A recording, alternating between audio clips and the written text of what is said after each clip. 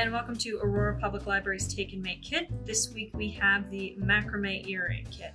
So what you're going to get in your kit is four lengths of macrame cord, two earrings, and two jump rings, and then also two small lengths of embroidery floss. The other thing you might need for the kit, or that will make it a little bit easier, is two small sets of needle nose pliers, but you can also use regular pliers. And I've gone ahead and tied, uh, put some masking tape on one end of each of the four macrame cords. Okay, so we're gonna start.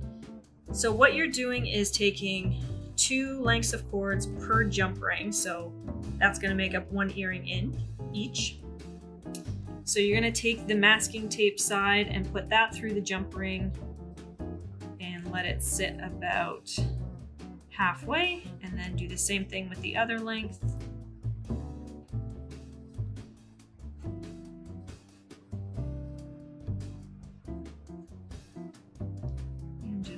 That through the jump ring.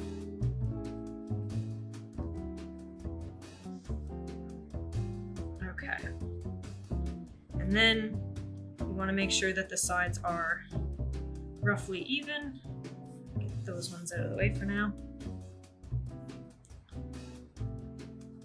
So that's more or less even.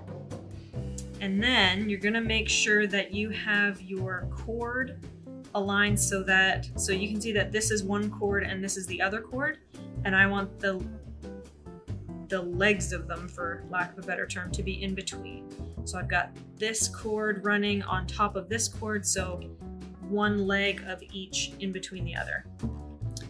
Okay, so the way this works is you have your four legs and you're gonna take the one in this corner and kind of do almost like a backwards figure four over the next cord to the left. And then you're gonna do the same thing with this cord and fold that over the next cord over and then do the same thing with this guy, fold it over. And then with your last leg here, you're actually gonna go through this first loop that you made. Okay?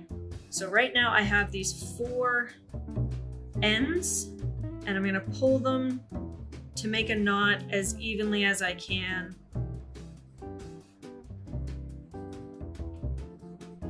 over that jump ring. So on the on the side that's touching the table, I've got my jump ring there, and this is sort of my working side where I've got the four corners here. And I'm just gonna go around and tighten each one. And that's an important step between each of your pattern repetitions is to tighten all these cords so that you can barely see it, but it is a square with these four loops made. And that is the basic pattern, and you're gonna repeat it five times.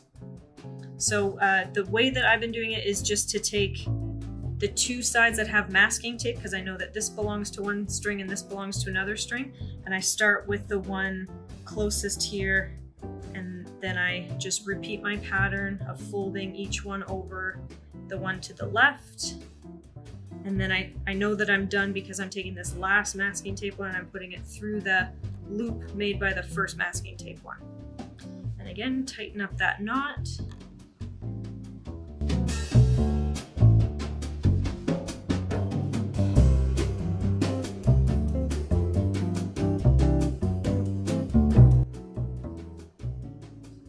Okay, so once you've done that repeat four or five times, then you can take your earring, and this is where the pliers come in handy. Just turn your jump ring until you find the part with the little cut for the connection. Open it up, put the earring itself on, and then close it back up again with the pliers.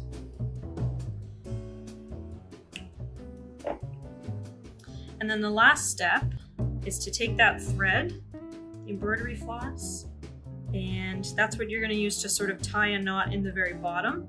It's also how you can give these earrings a little bit of color, but you can use regular string if you wanna keep it all neutral. You can also try dyeing your macrame cord if you have some dye at home or nail polish or paint, that might work.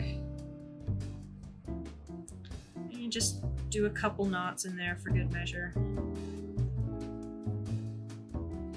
And because this is macrame, what you can do at the end is take off that masking tape. I'm just gonna cut it off because I want it a little bit shorter.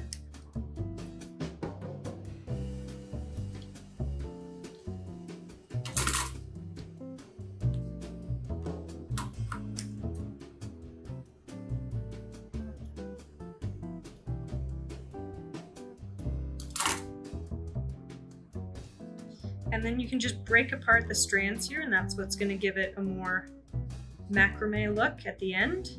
And those will fray a little bit more as you wear them and play around with them.